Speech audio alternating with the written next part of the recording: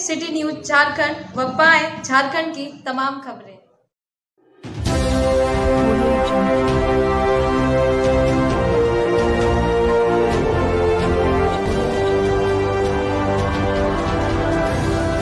नमस्कार, आप देख रहे हैं सिटी न्यूज़ और मैं हूँ आपके साथ छवि।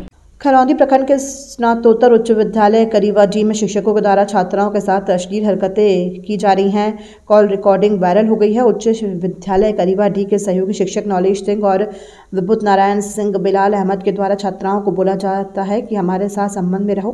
तुमको परीक्षा में पास कर देंगे। साथ ही छात्रों को धमकी दी जाती है कि अगर ये बात किसी को बताओगी तो तुमको परीक्षा में फेल कर देंगे। साथ ही सहयोगी शिक्षक नौलेश सिंह और विभूत नारायण सिंह नौवीं कक्षा के छात्राओं के साथ अश्लील बातें फ़ोन के द्वारा करता था, जिसका कॉल रिकॉर्ड वायरल हुआ तो ग्रामीणों ने विद्यालय को घेराव किया, साथ ही स्कूल में ताला बंद कर दिया और जमकर हंगामा किया, जिसका सूचना पाकर खरौंदी थाना प्रभारी अभय कुमार, खरौंदी प्रखंड शिक्षा पदाधिकारी विजय पांडे, खरौंदी प्रखंड विकास पदाधिकारी गणेश महतो, भवनाथपुर पुलिस निरीक्षक चंदन कुमार मौके पर पहुँचे और ग्रामीणों को आश्वासन दिया, जहाँ ग्रामीणों ने मांग की है कि इन शिक्षकों को त्वरित कार्रवाई करते हुए निलंबित किया जाए। राजू रंजन सिंह ने बताया कि इस विद्यालय में सभी शिक्षक हमेशा शराब और मुर्गा बनाते रहते हैं और हमारी बेटियों के साथ अभद्र बातें करते रहे। और शिक्षक पढ़ाने की बजाय ऑफ़िस में बैठे रहते हैं। साथ ही विद्युत नारायण सिंह को पहले भी कई बार इसी तरह के मामले में पकड़ा गया था, जो कि कार्यवाही होने के बाद फिर से विद्यालय आने लगा। हम लोग अधिकारियों से मांग करते हैं कि इन्हें त्वरित कार्रवाई करते हुए निलंबित कर दिया जाए, नहीं तो हम लोग फिर से हंगामा करेंगे। साथ ही उस विद्यालय के प्रधानाचार्य राजाराम सिंह के ऊपर भी कार्रवाई की जाएगी।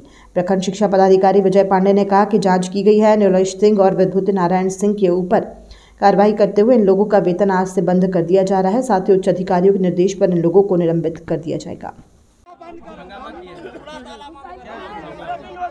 ये करीवाडी में जो स्कूल में मैटर आया है, ये बहुत ही मतलब कहा जाए, शर्मनाक मैटर है, जो कि जहाँ पे शिक्षा शिक्षा दी जाती है और कहते हैं शिक्षा ही मतलब जहाँ पे गुरुओं को सम्मान दिया जाता है, अध्यापक को, गुरु कहा जाता है, वहाँ पे ऐसा अगर घिनौना कार्य हुआ है तो बहुत ही शर्मनाक है।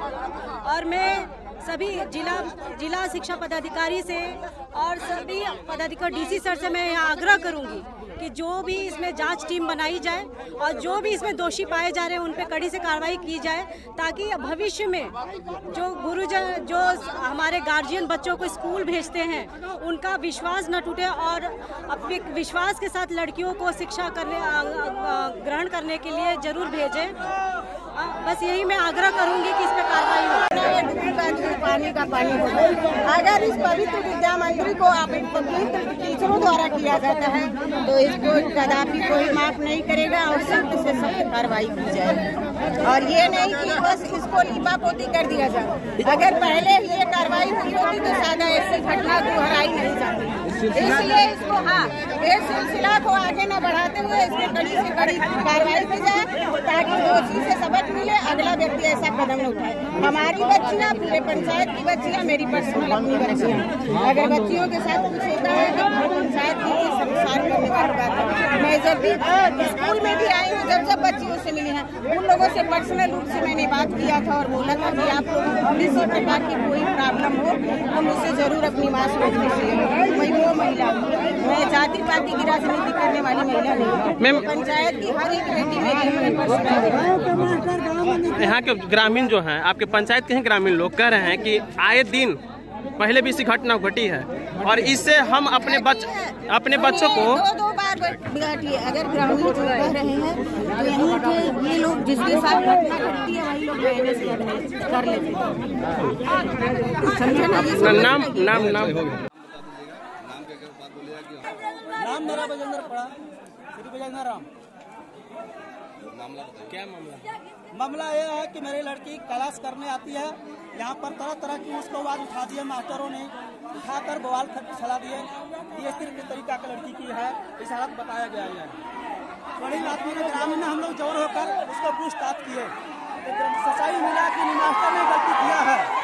लड़की को बुलाकर ज़बरदस्ती नवी लोगों, बात, अराब शराब बात जो है कि बुरा बुरा तरह की बात बोलती है।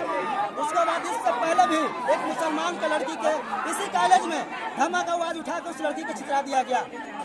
तीसर का स्थान में भी हुआ। एक लड़की भी आई थी उसको नाम घोषित नहीं कर रहा हूँ। मगर उसका भी यही प्रतिहा के मास्टर किए। हम लोग गरीब आदमी हैं। गरीब के साथ साथ अन्याय हो रहा है। यह सरकार से दरखास्त है कि ये मास्टरों लोग को एग्ज़ाम किया जाए यहाँ से। तो बनाकर कॉलेज में खाइबे करते हैं। आज विद्यालय में हंगामा हो रहा है। क्या मैटर है कि लेके हंगामा कर रहे हैं लोग? दो ठो टीचर हैं जो कि कुछ लड़की लोग से बेतलुकी बात किए हैं। और कोई लोग उसको रिकॉर्डिंग वॉर्डिंग कर लिया था। और रिकॉर्डिंग करके पूरे अथी पर व्हाट्सअप पर फेसबुक पर वायरस किया। जिसके कारण कुछ जनता जनता लोग जाने तो उसी के बारे में आए हैं कि उन लोग को बर्खास्त किया जाए। इसके पहले भी ऐसा कुछ घटना हुआ था? आप स्कूल के हाँ, अध्यक्ष भी हैं। टीचर पहले ऐसा में हुआ था उसको हो गया था समाधान तो हटाया भी गया था। फिर अब इस तरह का हुआ है बात तब तो जो भाई जनता कहेगी उसको करना ही ना होगा। जनता बर्खास्त की मांग कर रही है। जनता बर्खास्त मांग कर रही है तो जनता हमको इस कुर्सी पर अध्यक्ष पद पर बैठाई है। जनता व अधिकारी के जो आदेश होगा हम सब करेंगे। नाम बता नाम हमारा धर्मेंद्र प्रसाद यादव भलोही अध्यक्ष। शिक्षक पर कार्रवाई तो होगी निश्चित। मामला क्या है? मामला है लड़की से मोबाइल पर बात करने का। अभी तक लेकिन सुन, सुने आप नहीं है क्या बात हुई है? बात में उसका गार्जियन ने बोल दिया तो हमको क्या सुनने की ज़रूरत है? गार्जियन ने जब बोल रहा है कि ऐसा ऐसा बात है तो अभी तो सबके सामने बोला। ठीक से ठीक। आगे क्या कार्रवाई क्या होगी? आगे कार्रवाई में यही होगी कि कल तक इन लोग का एप्लीकेशन हम लोग के पास आ जाएगा। उस आधार पर संबंधित दोनों पारा शिक्षक जो हैं उनका पहले कल से वेतन बंद कर देंगे और आगे फिर उनके सेवा समाप्त सेवा सेवा समाप्ति के लिए इसके लिखेंगे। इसके मुख्य कप्तान ये होते हैं प्रधान अध्यापक प्रधान अध्यापक से क्या? प्रधान अध्यापक को तो अभी मैंने समझा दिया पूरा। समझाने से काम चलेगा। पूरा गाँव मांग रहा है उनको नहीं रहना है। ठीक है नहीं रहना है तो, ठीक है तो फिर उनको भी हटाने की कल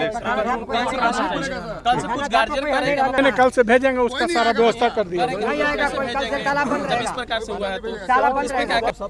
इसमें जितने भी अभिभावक जो शिक्षक रहे हैं इस विद्यालय में भेजने के लिए इसलिए दूसरा दू- दूसरा तो अभी तो हम लोग इस संबंध में मुखिया, प्रमुख और हेडमास्टर सबके सामने हेडमास्टर को समझा दिया किसी तरह की कोई तरह का दिक्कत। नहीं। सर आप कर रहे हैं लेकिन इससे पहले प्रखंड शिक्षा समिति जो है पहले पुनः बहाल कर चुकी है। एक शिक्षक जो यही यही आरोप में पकड़ाए थे केस हुआ सब कुछ हुआ था। लेकिन पुनः बहाल करके यही पढ़ा रहे हैं। तो कैसे विश्वास जनता करे कि फिर से आप लोग सही बात कार्रवाई होगी तो आप विश्वास कर लेंगे। चलिए ठीक है ठीक है ना?